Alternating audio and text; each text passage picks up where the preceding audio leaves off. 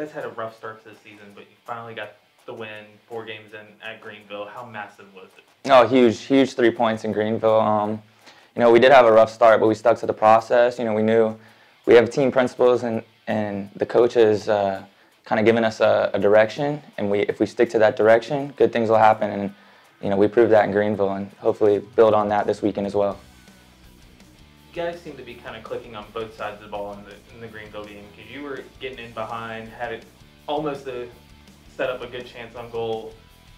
How was the team chemistry coming along? Right. We know we know we want to keep the ball, so that's that's a main principle in in general, and you know we want to put teams under pressure. We want to we want to be aggressive. So we just said, you know, like before the Greenville game, let's go out and be aggressive. Let's take it to them. Let's take the fight to them instead.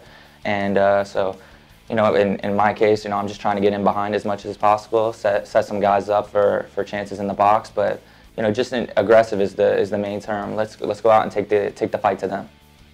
So being on the back line, getting the, the second shutout of the season, how, how huge was that? Oh, huge. Keeping a zero, a clean sheet is big time. You know, Akira is great in goal. He's been great for us so far this season. Um, we've had some fluctuations with who, who's in the back line and who's in the midfield and stuff, but it doesn't matter.